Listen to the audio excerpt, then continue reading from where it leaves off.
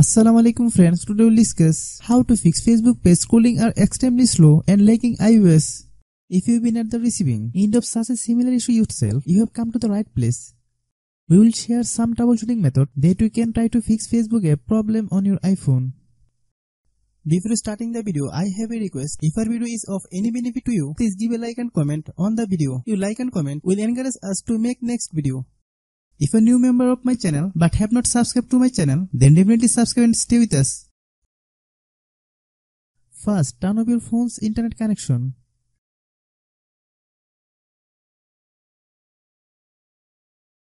Now turn on the internet connection.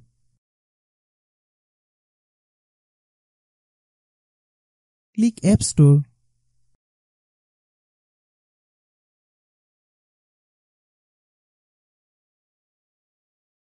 Click search then type Facebook.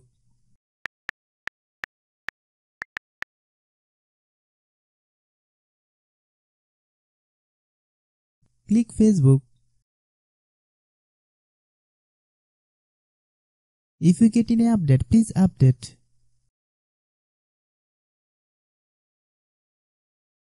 Launch the setting app on your iPhone. Click General.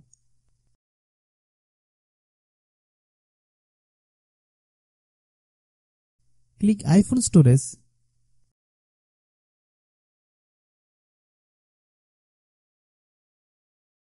Click Facebook app. Click Offload app.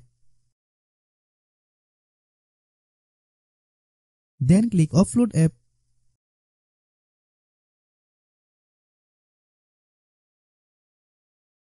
Click Reinstall app.